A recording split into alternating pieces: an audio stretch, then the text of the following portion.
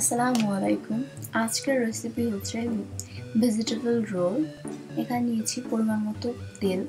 এখানে দুই টেবিল চামচ পরিমাণে দিয়েছি তেল এবং হাফ কাপ পরিমাণে দিয়েছি পেঁয়াজ কুচি দিয়ে ভালো করে একটু ভেজে নিচ্ছি।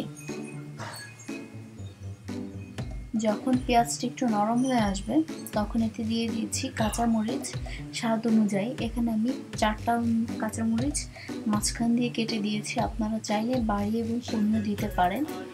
যখন একটু মরিচে থেকে একটু গ্রাম বের হওয়া শুরু হবে, তখন এখানে দিয়ে দিচ্ছি কুচি করা বাঁধাকপি।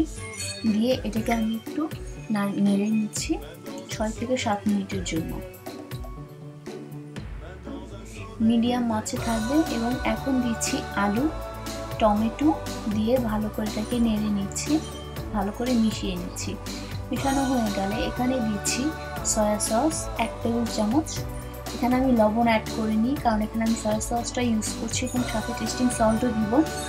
তাই এখানে আমি লবণটা সবার শেষে যখন প্রয়োজন হবে তখন আমি অ্যাড করব। এখন ভালো করে মিশিয়ে দিচ্ছি। ভালো করে মিশিয়ে দিয়ে এটাকে আমি দশ থেকে পনেরো মিনিট এটাকে রান্না করব। এটা হচ্ছে আমি নুডলসের যে একটা প্যাকেটে যে একটা মশলা পাওয়া যায়, সেই মশলাটা আমি এখানে অ্যাড করছি। কারণ এখানেও লবণ আছে। তো এগুলো দেওয়ার পর যদি প্রয়োজন হয় তাহলে আপনারা লবণ অ্যাড করবেন। তো এখন আমি এটাকে মিডিয়াম আছে রেখে বাঁধাকপি এবং টমেটো সিদ্ধ হওয়ার আগ পর্যন্ত অপেক্ষা করছি। আমার পনেরো মিনিট হয়ে গেছে। পনেরো মিনিট পরে এখানে আমি দিচ্ছি টেস্টিং সল্ট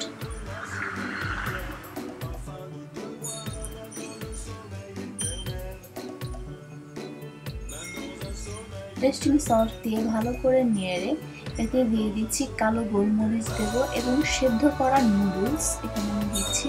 এখানে আমি একটা নুডলস নিয়েছি, ছোট ছোট করে টুকরো করে তারপর আমি সেদ্ধ করে নিয়েছি। এবং এখন দিচ্ছি কেচাপ। কেচাপ দিচ্ছি তিন চা চামচ পরিমাণে এবং কালো গোলমরিচ আধা চা চামচ পরিমাণে। আপনারা তো যদি কালো গোলমরিচটা পছন্দ না করেন, সেক্ষেত্রে না দিলেও চলবে।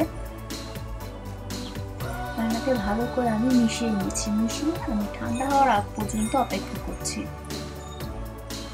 অন্যদিকে আমার এই পেপার যে রোলগুলো রয়েছে, এই পেপারটা আমি বাসায় তৈরি করেছি। এটা ডিসক্রিপশন বক্সে আমি লিঙ্কটা দিয়ে দিব কীভাবে আমি পেপারটা তৈরি করেছি। এটা হচ্ছে এই দুই চা চামচ পরিমাণ নিয়েছি এই ময়দা এবং এক চা চামচ পরিমাণ পানি দিয়ে একটু আঠার মতো তৈরি করে নিয়েছি।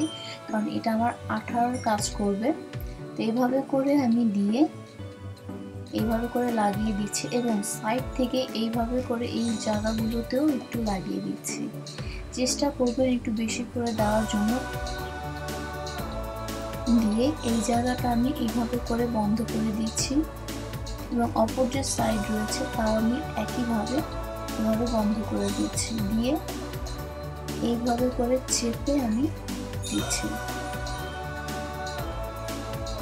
এবং এই সাইড দিয়ে আমি একটু আঠা দিয়ে এই সাইড দিয়ে আমি লাগিয়ে দিচ্ছি।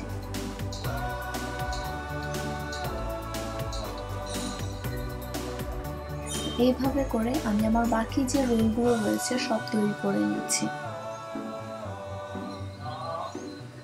এখানে মিডিয়াম আছে, সময় নিয়ে এগুলোকে আমাকে ভাজতে হবে। আমি সময় নিয়ে এটাকে ভেজে নিচ্ছি।